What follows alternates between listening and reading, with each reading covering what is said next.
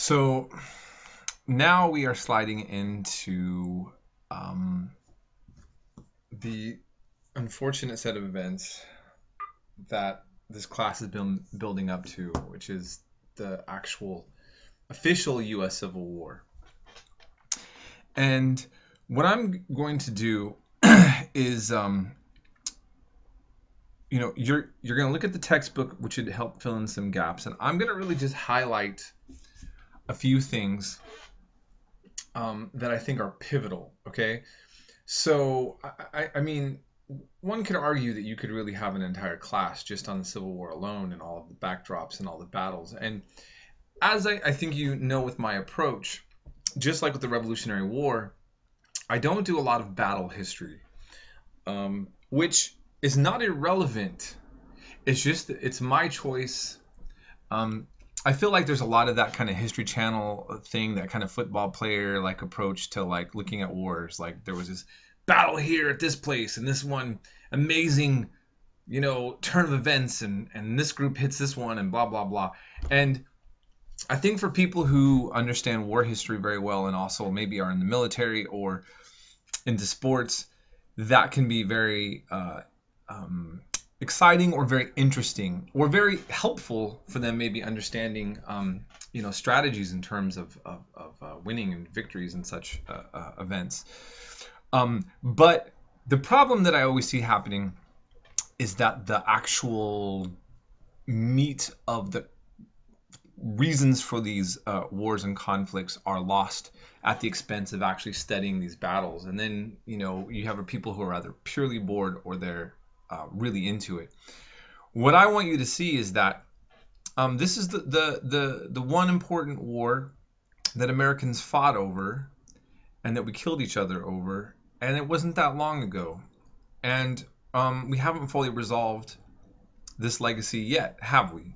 Um, so um, as we approach this, um, I just um, I want you to kind of just soak in all this information that you had, and then we're going to look at some other lectures that I'm going to post to really kind of clarify what to make of this legacy. Okay, so I'm going to go just straight into the election of Lincoln. Um, Abraham Lincoln was picked by the Republican Party for his uh, good reputation and his obscurity. He wasn't a major man on on the scene, and um, you know, in the election, um, the electoral vote, he had, uh, uh, uh, you know, about 180, about about 80, about 40 percent. Um, he was running against a Southern Democrat who had about 18 percent, and then there was another party, Constitutional Union, uh, 12, a little over 12, and then a Northern Democrat, uh, Stephen Douglas.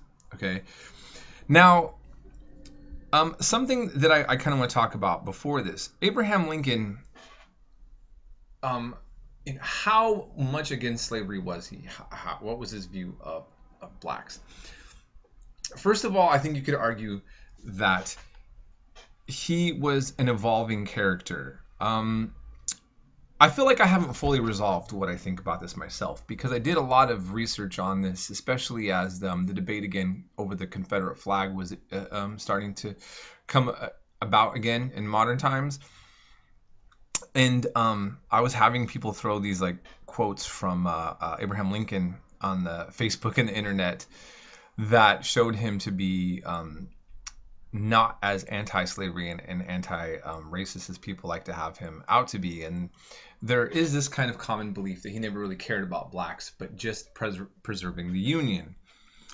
I think that there's some truth to that, but I do think there's also uh, um, missing the point. People do evolve over time, and positions evolve, and um, people can be opportunistic as well. I don't think he was, and I think the important part to realize is that the, even though he was in his obscurity, Abraham Lincoln was seen as, but from the slave uh, owner's point of view, as anti-slavery.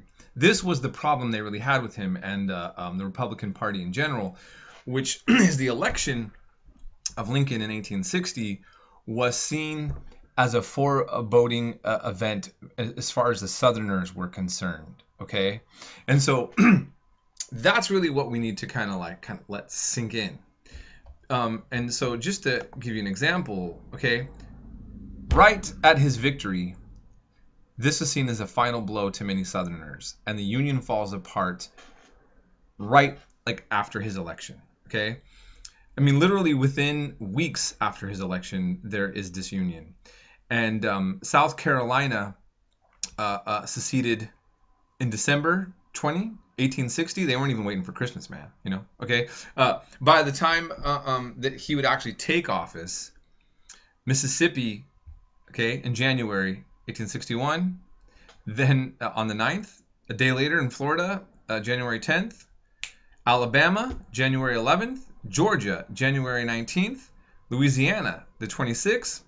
And then Texas, uh, February 1st. Okay. And in February, the new nation of the Confederate States of America was formed. Okay. This was all from the election of uh, Lincoln. He didn't even have a chance to make any policy. Okay. And, um, you know, Buchanan was in office before him, President Buchanan, um, who uh, essentially didn't feel that slavery was something that that should be a. Um, he didn't feel that that that really. He, he felt that the, the Constitution allowed for them to have slaves uh, in the South, and he didn't um, seem to feel that it was. Um, uh, uh, he didn't take a strong position on a lot of the things taking place. It's the presence of Lincoln that really shook things up. I mean, just him coming in. Okay, so that's what I want to kind of remind you. And so then, you know, the question, of course, goes to, well, why would they do that? Okay, right? And um, it's fundamentally uh, uh, um, t- linked to this fear of the, you know, seeing the handwriting on the wall, as the saying goes, for, for the end of slavery with um, um his nomination and, and election. Okay, so we have Fort Sumter and Fort uh, Pickens. So in Fort Sumter, a federal military uh, installation on the island in the harbor of uh, uh Charleston, South Carolina. And then Fort Pickens is in the harbor in Florida. Um, President Buchanan was refusing to yield at the time. Okay, so I mean, remember, like this is happening while he's still president. Okay, we kind of forget that. Like, um, Lincoln gets elected and Buchanan's now like kind of like, whoa, now I got people leaving, you know. Um, and then in January, um, he sent unarmed merchant ships with supplies and troops, and it was shot at, and it turned back. Okay, so here we're really, you know, the the the, the heat gets uh, going. Okay, and so uh, I'm actually going to start stop there, and then we will return to uh, Lincoln's inaugural address and like well, and, and, see what's um, going to develop really rapidly.